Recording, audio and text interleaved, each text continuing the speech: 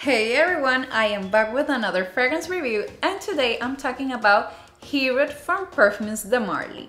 Herod is a masterpiece. If you're thinking about buying Herod, these videos right here is all you need to make your decision. This perfume opens on spicy top notes of cinnamon and pepper Cinnamon is an aromatic spice that has a warm, sweet flavor and pungent aroma. The taste and scent comes from the cinnamaldehyde, which makes most of the essential oil of cinnamon. This is the first thing I love about Herod, its spiciness and sweetness.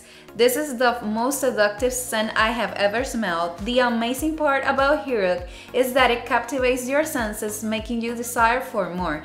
And on a man, there's no words that can describe the feel. For me, it's a complete magnet. For its powerful heart, here we have tobacco leaf, we have incense, cyst, and osmanthus. Osmanthus is a little known and rare raw material for perfumery, yet it is more and more found in a perfume composition. The scent of osmanthus flower, it has a fruity note, for example, like apricot, and a leather facet with an accent. The second thing I enjoy about here is the perfect mix of sweet tobacco and incense.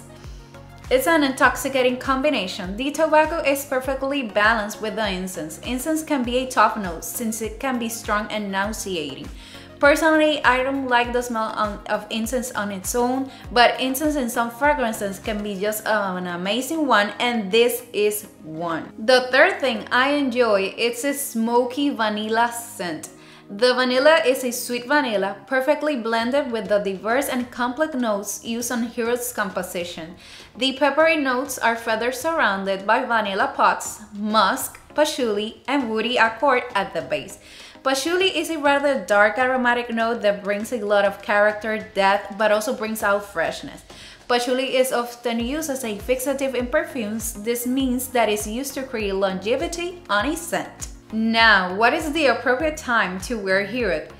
I, the, it is perfect during the fall and winter, but I will also add that it will smell great during spring and summer nights. Herod leaves behind a sillage which is both warm, we have the cinnamon, and both classic and exotic. It's elegant, sophisticated, and definitely sexy.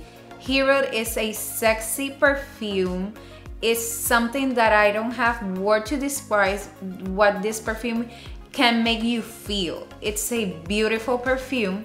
Herod can also be worn by both men and women. In my opinion, this scent on a man is breathtaking and attractive.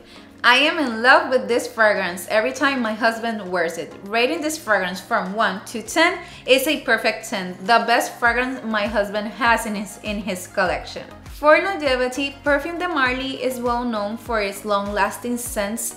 Personally, I find that this perfume is really good.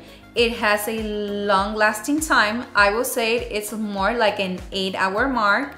I don't. It's not a beast mode uh, perfume, but definitely you will get a good hour, 8-hour mark for this perfume.